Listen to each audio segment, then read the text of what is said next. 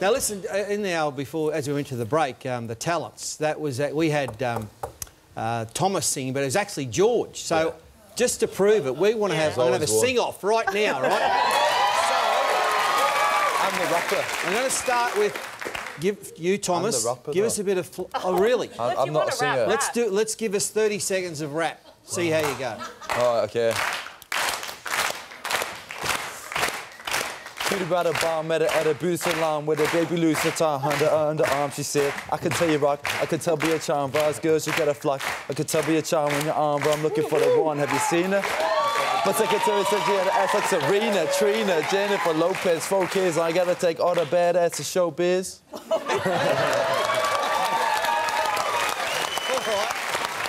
Now here's the real talent, the real singer. George, what, what do you got for 30 seconds for us?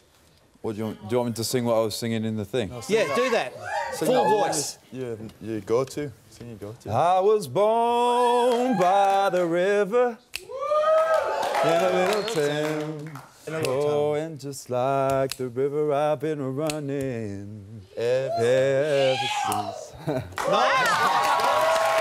good. So that's okay. So we go from those two. Jeff, no, come on, Jeff. You've got to have something. Nah, I don't have anything. He's I, don't. missing it. His I couldn't wife understand the one, talent. and he's Come got on. the accent, so he can say whatever he wants with the accent. It sounds all right. I'm just an Aussie, mate. The voice isn't real good. You show us everything Yeah, you've fat. got. Keep it catching and gets hot. And you'll drive us wild, we'll drive you crazy. That'll do. Okay, Yeah, so like save it again. Let's... Darryl, Oh no, I got nothing. I've got something. Darryl's got something. I can't remember who sings it, but a long, long time ago, I can still remember. Erin, Oh well, no, I've got, I've got a rap that my sister and I made up. I up. remember Erin singing on the footy show. You were pretty good. Yeah. okay.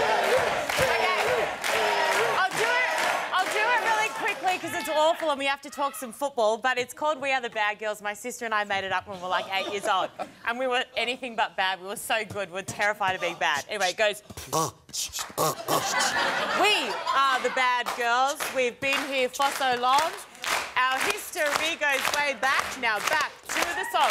Yo, yo, if you want to come near us, you better beware. Because there ain't no one around here that the bad girls couldn't scare. Uh-huh, there ain't no one. And that's it.